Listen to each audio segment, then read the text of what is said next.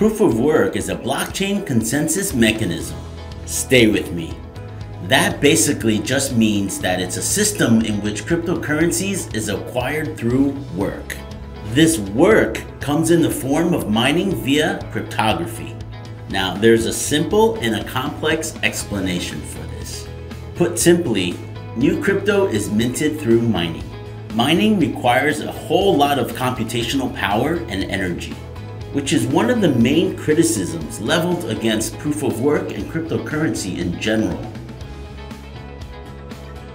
The technology behind proof of work's consensus system uses a competitive validation method. This is used to confirm transactions, add new blocks to the chain, and to keep the blockchain network secure. What's competitively validated, you ask?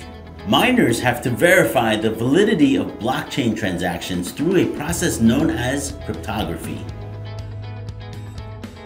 A blockchain contains a ledger or a record of transactions called blocks which can't be edited or rearranged.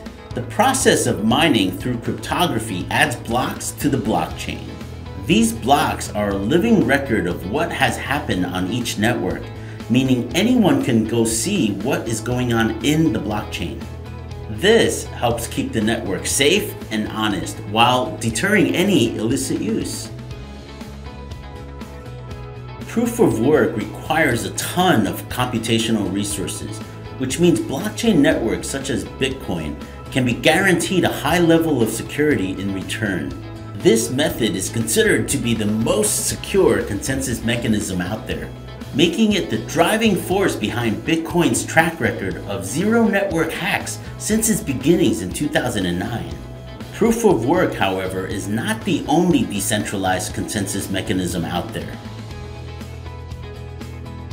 Proof of stake is an alternative to proof of work.